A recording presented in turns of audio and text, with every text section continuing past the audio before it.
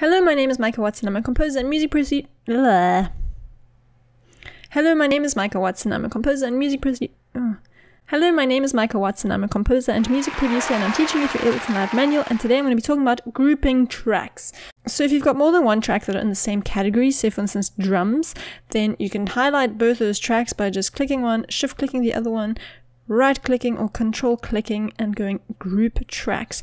Now you can see you get this other track that kind of looks like it has its arm around those two tracks.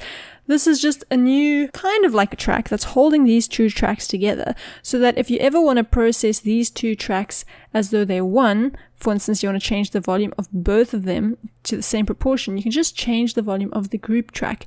You can do a whole lot of other cool things like you can put effects in group tracks. And so if you want to say EQ all your drums the same way, you can do that right over here. But another really cool thing you can do with grouping tracks is you can go to this little triangle and you can close it. And basically you're folding the tracks in, which saves a lot of space, especially if you've got a big project with a million different hi-hat samples or a million different vocal chopped samples and you kind of want to keep them organized. If you go into arrangement view, this is what a group track looks like.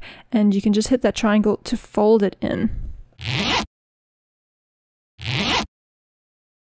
Group tracks themselves can't contain clips, but as you can see, they are similar to audio tracks just because they've got a mixer, they've got fader, they've got this pan control, your mute, your solo. Also, if you look at this in out, by default, if you've got a group track, it's going to go to your audio master. And if you look at the individual tracks inside the group, you can see that the audio to is going to the group. This is the default setting, and if you want to send these individual audio tracks to different things, you're going to have to change that here.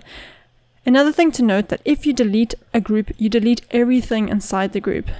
It's all gone. However, if you want to dissolve the group, i.e. you just want to have these two tracks again that aren't connected with the group, you can just hit Command Shift G and you're going to ungroup it, or you could also just right click or control click and go ungroup tracks. In the next video, I'm going to be talking about return tracks, which are these guys over here, and you get them by hitting on this R. I'll be explaining what they are and how to use them and how they are different to grouping tracks.